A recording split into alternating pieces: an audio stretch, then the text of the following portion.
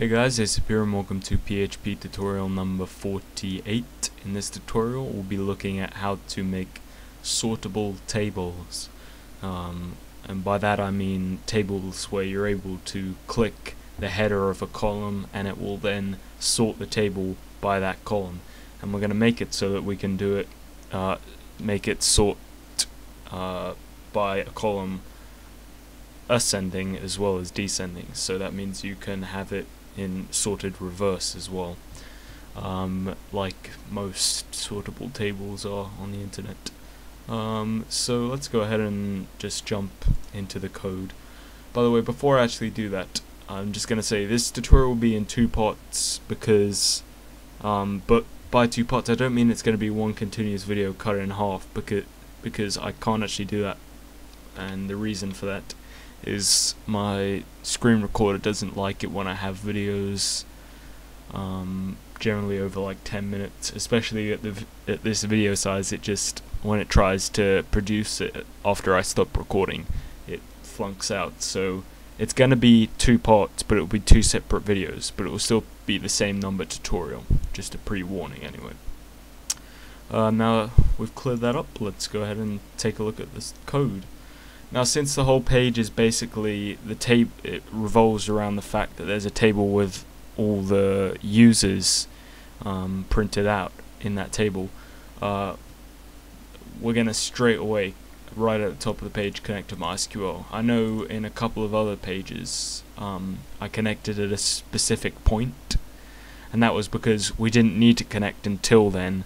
Uh, so it was a sort of security risk to connect any earlier. There, there wasn't any need, so it's always better to be safe. But in this, I'm basically using connecting. I'm basically running queries and stuff right into the start of the page, so I connected right at the top.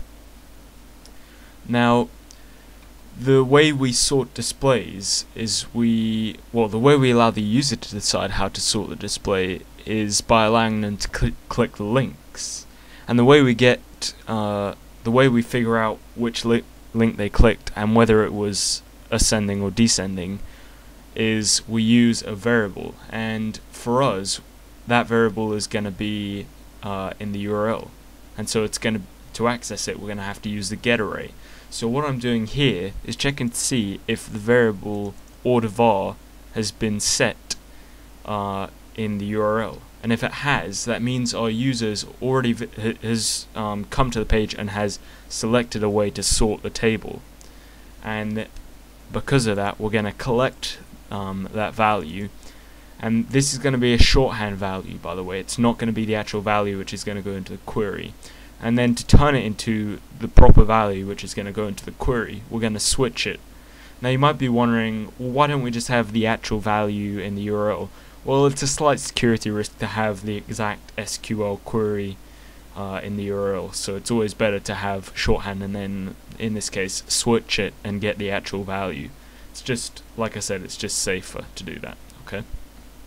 So we're going to switch order var, and then we're, the cases are simply the keywords. So fn underscore asc means first name ascending, then fndsc means first name descending, and ln is last name ascending and descending. Id is obviously id ascending and descending. And then if we get the right case we change order var to the actual string which will go in the query. In this case it has to be the column name exactly as it is in the MySQL database and then the keyword either ASC or DESC depending on whether you want ascending or descending sorting okay uh, and after we've done that, we break so it doesn't run through all, all the other cases. Okay.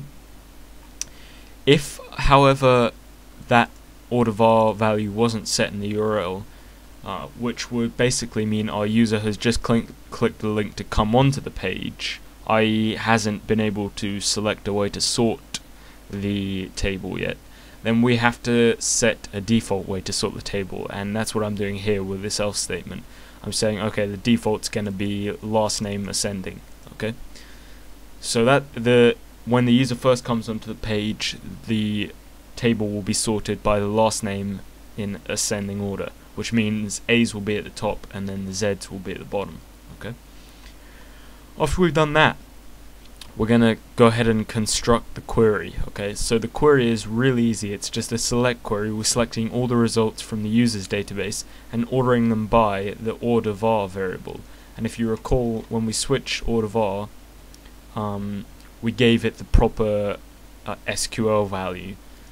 So let's say our keyword was fndsc, then order var after the switch would be first underscore name space DESC and then that value would go straight into that string sorry would go straight into this query.